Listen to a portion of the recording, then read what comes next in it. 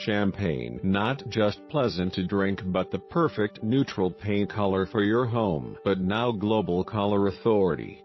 Pantone has created a new shade to rival the creamy hue that is inspired by British bubbles instead of French fizz. And it's named after English sparkling wine. The color an off-white cream was created to challenge the ubiquitous use of French wine names to describe paint shades such as Champagne and Burgundy Pantone, which created the color with British online wine retailer Laithwaite's Wine. hopes English sparkling wine will be the new go-to choice for interior designers as much as champagne is currently used. Pantone Color Institute describes the new shade as a subtle and stylishly elegant creamy hue that quietly expresses effervescence and good taste. Young in spirit and timeless in its appeal.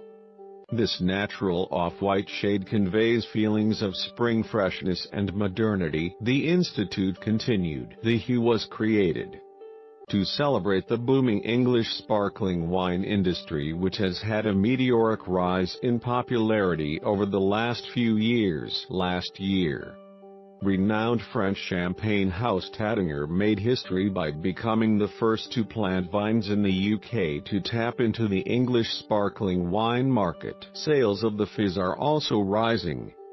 And last year 51% more people bought homegrown fizz compared to the previous year at Waitrose. Sales also doubled at M&S. The industry as a whole has grown by a whopping 89% over the last five years. Laurie Pressman, Vice President of the Pantone Color Institute said, We are honored to be involved in the creation of this new unique off-white shade. Laithwaite's Wine English Sparkling, a color of its time.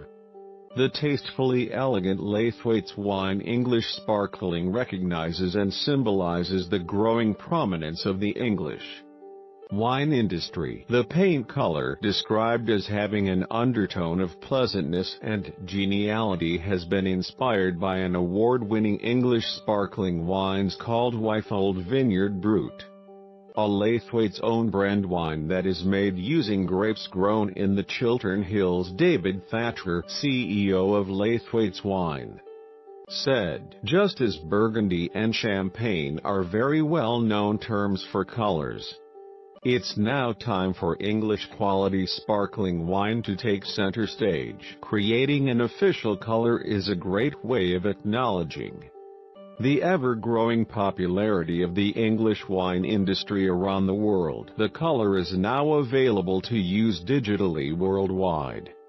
As a textile or paint and the color is made by Valspar and is available at B&Q stores.